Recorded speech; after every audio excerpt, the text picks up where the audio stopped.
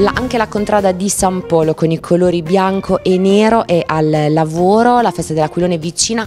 Adesso c'è un pochino più di partecipazione, eh, siamo all'ultima settimana e quindi ecco, probabilmente intensificheremo i lavori anche se eh, nei progetti più impegnativi probabilmente non parteciperemo, quindi parteciperemo alla gara tradizionale con gli aquiloni di carta no? per ecco, il premio magari ecco, forse più sentito insomma, no? per la festa dell'aquilone. Ci sono però anche alcuni giovani che stanno lavorando, ci sono anche comunque delle nuove leve, cercate di passare anche voi la matassa? Sì, sono bravi, ma non solo, cioè, ti dirò che c'è anche chi ha rinunciato a vacanze no, magari in Sardegna preferendo venire no, la settimana qui per partecipare alla festa di domenica.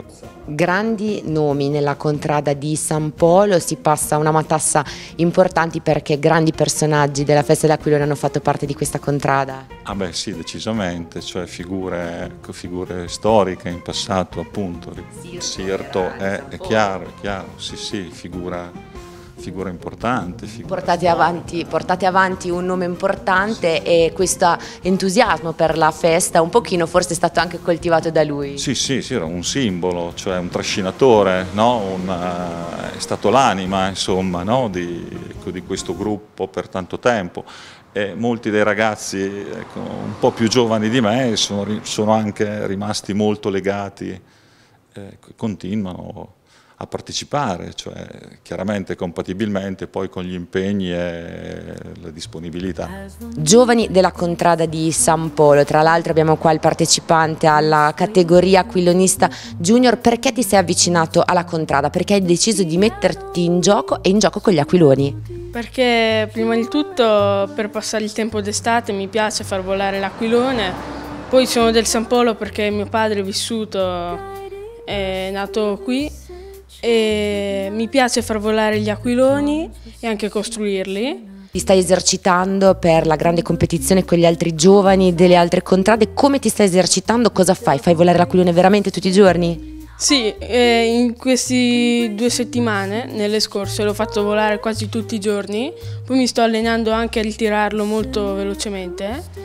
E Solo che a volte mi fermo a farlo volare perché mi piace anche dargli filo e guardarlo andare in alto.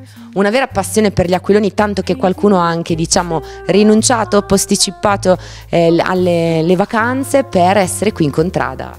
Sì, allora è, una, è sempre stato un, un evento che accomuna un po' tutti eh, i ragazzi di Urbino e anche quelli che vengono fuori da Urbino, per esempio mamma, mia mamma è di Urbino e quindi mi ha trasmesso questa, questa cosa e mm, noto che qua c'è un legame diverso tra le persone e che è la cosa che mi fa tornare qua ogni anno. Da dove vieni perché? Vengo da Milano e ci sono due posti completamente diversi, comunque preferisco ogni estate venire qua quando ovviamente posso perché ci sono persone diverse, mi diverto tantissimo e c'è un legame qua, anche la sera, quando mangiamo, quando parliamo, che è molto, molto bello. Quindi tutti al lavoro, c'è una divisione dei compiti precisa o vi aiutate tutti come una grande squadra? No, in realtà ci aiutiamo abbastanza a vicenda, per esempio io prima stavo aiutando mio fratello a fare l'aquilone perché Così facciamo prima, ci divertiamo insieme e non c'è una vera e propria suddivisione di compiti, ma tutti fanno quello che riescono e vogliono fare. Allora in bocca al lupo e buon vento per questa 69esima festa. Grazie. Crepi. Crepi.